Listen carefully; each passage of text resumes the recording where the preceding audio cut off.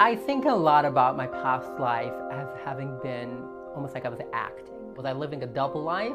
Growing up, Abby Stein struggled with her identity inside an ultra Orthodox Jewish community. I think I was a happy child, specifically until I got older and I started realizing that I don't get along and I can't really make friends with boys and I don't enjoy most of the sports and the things they play. That's because Abby says she was really a girl born inside a boy's body. There were times that I tried to tell myself, you are simply wrong and it's impossible what you're feeling.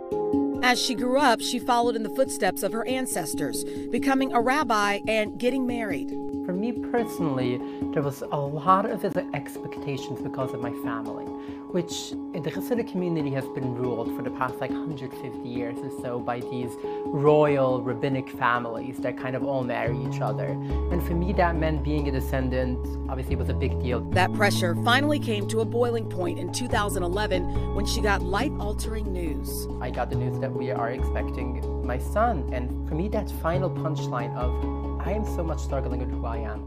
Four years later, Abby says she made the decision to finally live her truth as a transgender woman. At the end of the day, I am who I am today, of which I'm very proud and happy and comfortable because of the sum total of my experiences. And I think that is very powerful. Abby Stein's memoir is Becoming Eve, my journey from ultra Orthodox rabbi to transgender woman. And she's here this morning with us. Good morning to you. Good morning. Thanks so take me back to a moment. It was a powerful moment in the book. I think you were 20 years old. You lived your whole life, you say, in this sheltered environment as a man, um, and you couldn't ignore this feeling anymore. So I think you took a friend's tablet. Yeah. Is that right? That was um, literally a few days after my son was born. And I had a friend who had a tablet that I don't know if it was ever connected to the internet because the internet is the worst thing you can do in the community. Mm.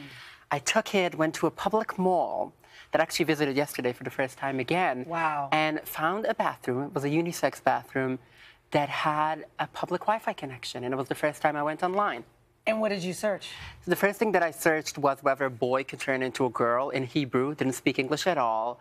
And that led me to the first Hebrew Wikipedia page that was talking about transgender, and it was wow. the first time that I heard that term. I identified as such without having words for it since I remember myself. And then from there, I was led to forums, online forums, mostly in Hebrew. And, and then when slow... did you do that? Did you just whisk away to search? And I spent a lot of hours in that bathroom, wow. wow. which was yeah. Wow. Um, and later on, I sneaked in a cell phone, which is the part of the internet. As much as the community is trying to ban it, you can't. If people, someone wants internet, they're gonna have internet, which is what happened with me. Wow. Um, yeah. So you you, you write the, the, circumcision of your son was kind of this. Yeah this moment? You felt your world kind of collapse in on you.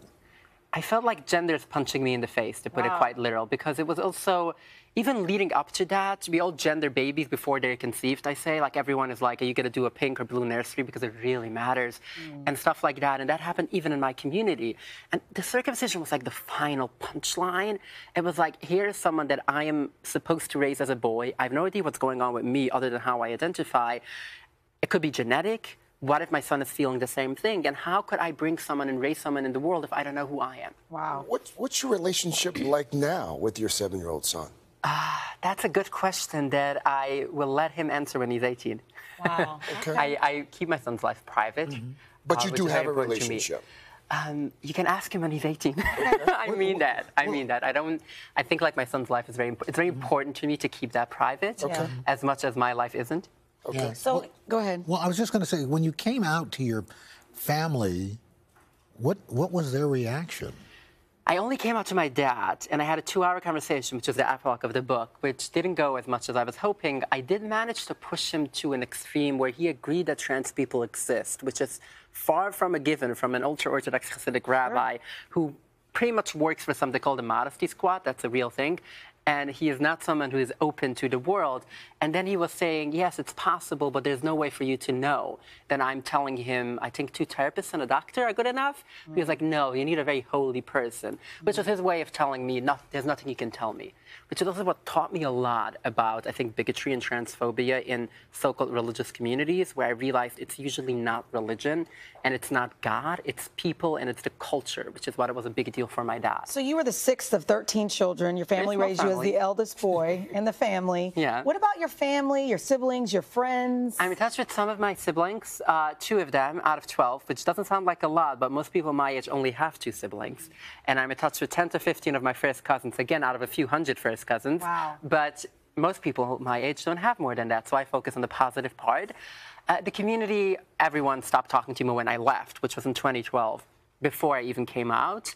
And to be honest, I don't miss them. I was going to ask you, is there anything about it that you miss? The Family, community? yes. Community, not really. I have so many friends, maybe too many to keep up with. Yeah. I'm fine. I'm not worried about them. Do you still practice Judaism?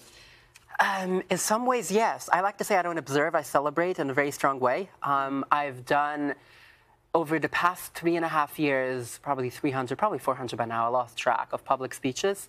And more than half of them have been for Jewish communities. Wow. Um, I'm very engaged, specifically in New York, with the activist, Jewish activist crowd, which has been really growing um, really fast, really strongly. Um, I've been involved a lot with the organizing with uh, a group Never Again Action, which has been organizing about ICE. And I am very politically involved. I know the book isn't political, but I am very politically involved. Abby, what would you say to somebody who is in your position, whether it's, say, in an ultra orthodox uh, situation or a very conservative religion, uh, and they're, they're struggling right now? You're not alone.